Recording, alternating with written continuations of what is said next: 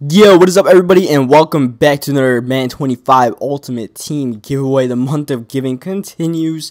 Um, two days ago we had the Ultimate Legend John Randle and Elite Brian Finneran giveaway on the um, Xbox One. The winner of that giveaway is Sean Thomas with the gamertag of Snowy Odin 2. Congrats on winning that giveaway and get back to me as soon as possible so I go get those cards. So that's that giveaway. And today we are back on the PS4 for a pretty cool giveaway. Now this Man 2000 unfortunately is not in. I'm going to be selfish and keep this Man 2000 to myself. I hope you guys can understand where I'm coming from with that. But um, the real giveaway is both of these cards. Eric Dickerson, who has 99 trucking, and you know, if you never need a trucking be out the way, you just get Dickerson. And Ultimate Legend Thurman Thomas, 97 speed, the acceleration, and two pretty damn good cards. So you know, if you want to enter this giveaway, all you got to do is subscribe to my channel and leave a comment in the comment section with your PSN. That'll automatically enter you, and then I'll be picking the giveaway winner tomorrow. So,